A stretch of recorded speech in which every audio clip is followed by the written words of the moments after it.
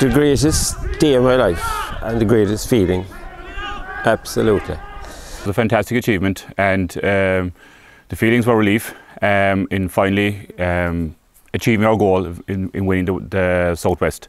It was brilliant. Um, kind of, you know, we put a lot of hard work into it, um, and only one team can win every year. Lots of teams put in a big effort every year, but I suppose we have been on a journey where we've been kind of getting better incrementally year on year on year, and probably been a bit unlucky the last couple of years, but we knew we were there thereabouts, so we put in a little bit extra this year, and it, it got us over the line.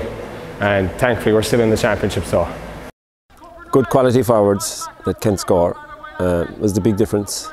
Numbers, numbers. We have 33 in the panel, um, and every fella is pushing every fella on during training.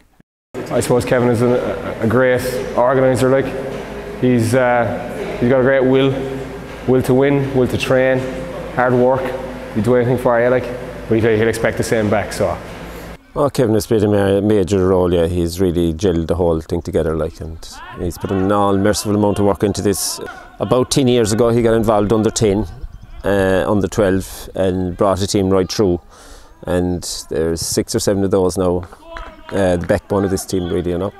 you know, like male and female, there isn't just one or two people running it. Uh, there's big buy-in from everyone. Even when we built this place, we had to get, get everyone to row in to, to do it, like to raise the money, to you know sign on for loans and things like that. So you have to get everyone to buy in, and, and that, that filters across the club and community. So. about uh, 2005 it became uh, the property of the club and we set about upgrading it and developing it and building a new clubhouse and so on and 'twas then we um, turned to the credit union for help only for the, the funds made available by the, the credit union and their facilities I think very little of this would be here I, I, I don't see how it could have been done Fierce um, support over the last couple of years. Um, if you go to any of the Kilmacabea games, like you know, they're probably the biggest crowds because we have the biggest support and.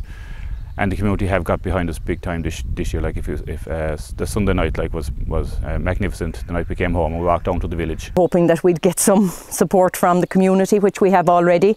Do you know our sponsors are O'Brien Transport, the Leap Inn and Leap, and Dennis O'Driscoll and Cardina.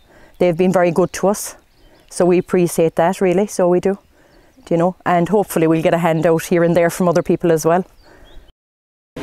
goal is to win next Saturday and try and be the first Kilmacabea team to be in a, a county final. yeah, once we once we won the West Cork, we sat down, we had a chat, and uh, we said this can't be um, the limit to um, our success this year. Uh, there's a county there. There's four games we played in that, and we have two of them games won already. We're playing the third one now on Saturday. Aim to achieve that to achieve that goal this year, definitely. Mm.